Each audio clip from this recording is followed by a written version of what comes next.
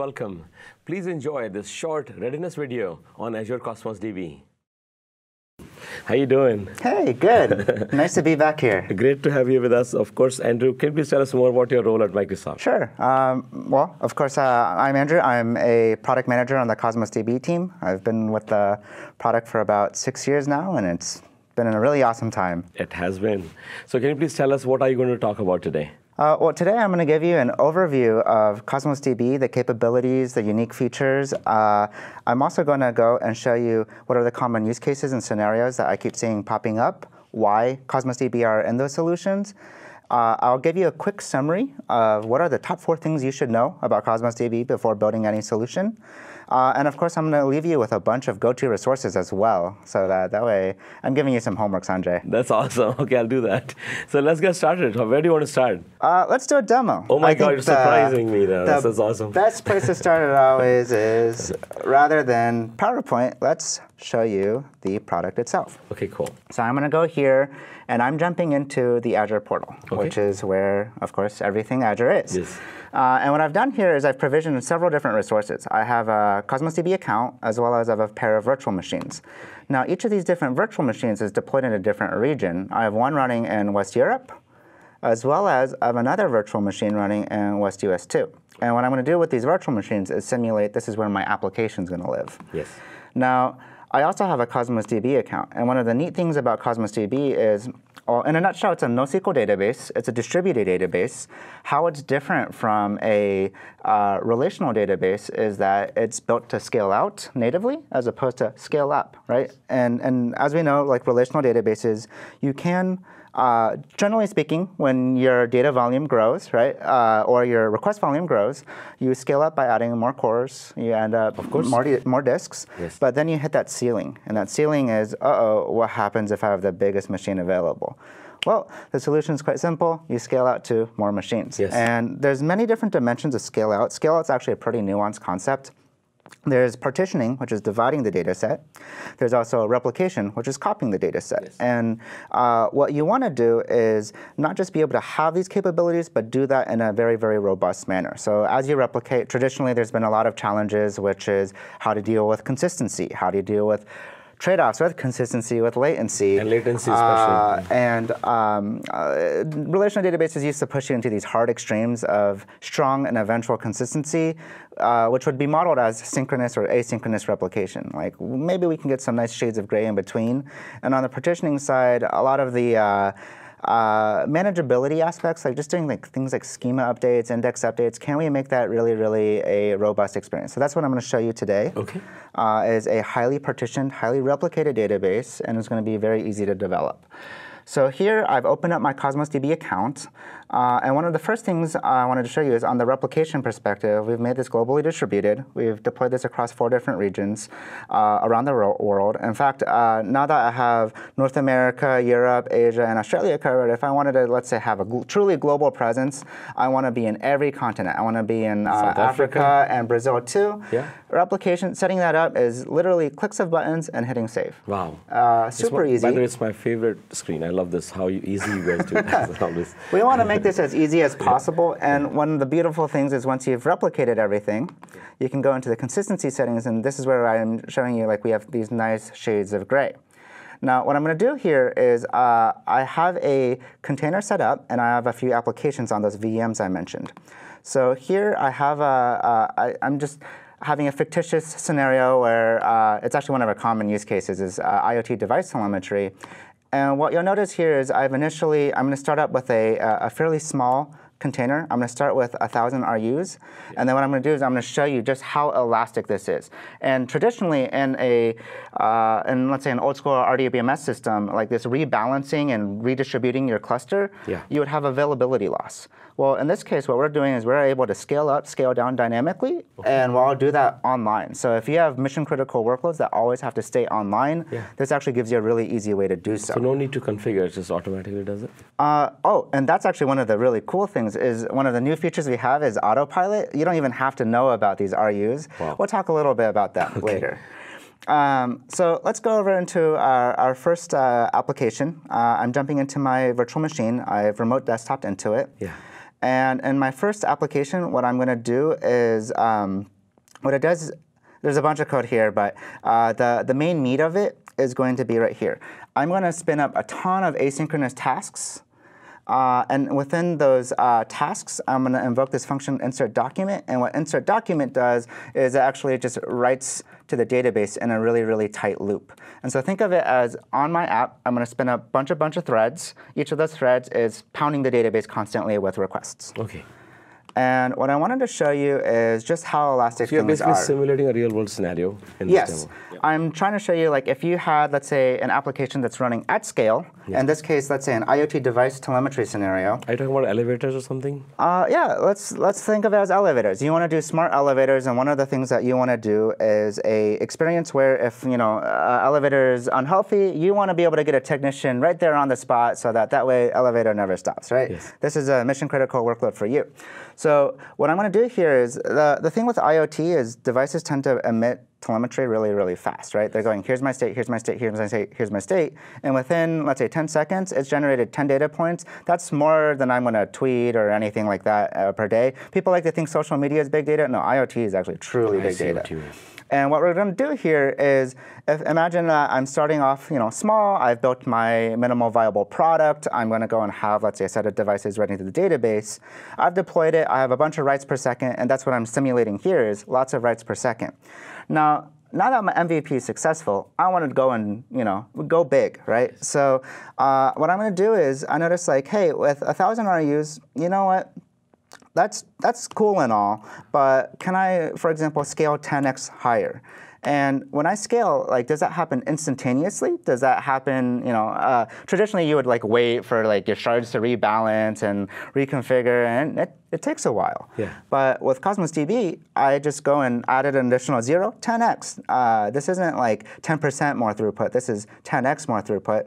Go back to my application, run it Re-execute. again, and check it out. Right away, this thing is going to spin up. Uh, it takes a little bit to warm up, but as you notice, it's going to settle instead of at 1,000 RUs roughly, it's going to settle at about 10,000 RUs consistently.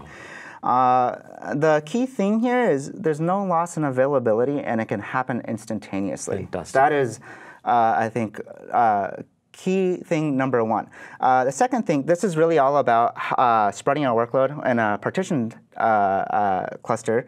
Let's also look at what we can do with replication. So replication typically you do with two reasons.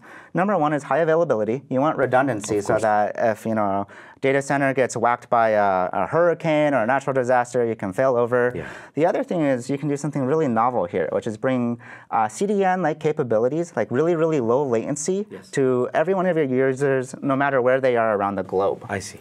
And so what I'm going to do here is I'm going to run my second application, and I'm going to show you the latency. Uh, so in this application, what I do is I first connect to the database. Uh, you can steal my keys if you want to play with it.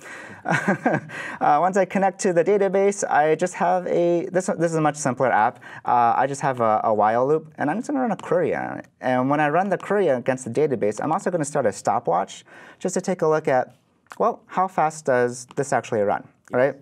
Um, well, uh, you'll see the first request takes a second to initialize the client, but from here you get consistent, really, really low latency, tight latency, right? Like you can get even single digit millisecond latencies. So if you're building like really, really robust real-time uh, applications, real-time machine learning for personalization or fraud detection, this is incredibly fast. Absolutely. Now, the challenge here is I'm in my West US VM. Imagine if I had a West US database. It's talking to a local database. It's pretty fast.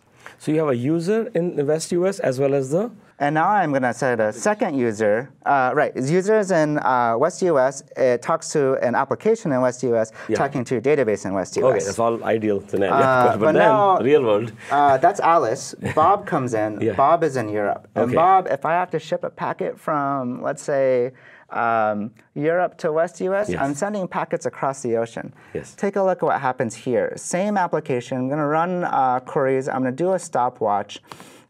And if I had a single region deployment, what you'll notice is, well, if I just even were to like ping a server across the ocean, it takes a while, right? it like does. what you've noticed is the latency jumped from about 10 milliseconds to about 300 milliseconds. Yes. How do I fix that?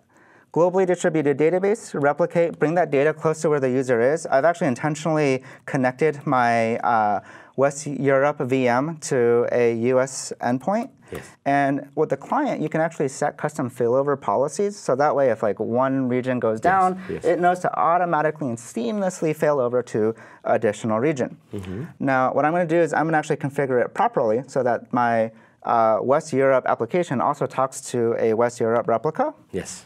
Rerun this again, and boom, all of a sudden my latency has been floored by orders of magnitude. Fantastic. So here's a kicker. Historically, if I'm running many, many shards, and I'm also running many, many replicas, I have a project, right? I'm developing an application. The business is really pushing me to deliver function, you know, new functional requirements. I need to do a schema update. If I have to do alter tables, create index across a dozen shards, across three or four, you know, uh, uh, several replicas, and then the business also tells me, by the way, no loss in availability. You cannot take your website off for maintenance. There's no offline. You have to do this online. Ooh. I, have well, written those updated statements before. Yeah, right. like what you're doing here Yes. is um, the application has changed its data model. It expects a different data model uh, from the database. And now you have to get make sure that they have a consistent view across all these shards and replicas. Doing alter tables, create index is just a, an operational nightmare. It really slows down your application development. So Cosmos DB not only does it act as a distributed database, it does this as a core tenant of the system. And one of the things that we want to make is it's easy to develop. So here I have. Um, uh, the data set I've been jamming into the database. It's, uh, it's a mock data set, you know, for uh, an IoT scenario. But what I'm going to do here is I'm going to show you, like, let's say tomorrow I want to add an additional property to the, uh, the, the schema, right? Like, I want to add some tagging, and on the tagging, I can go and uh, let's say add a new tag that this is uh, uh, tag blue. And what I'm doing here is I want to, you know, just add a new property or column without having to do any kind of uh, alter tables create index. I just wrote the record, Wow. no schema update, and I'm going to go and query for that record back. And using the automatic indexing, let's see, this is an array. Array contains c.tag blue.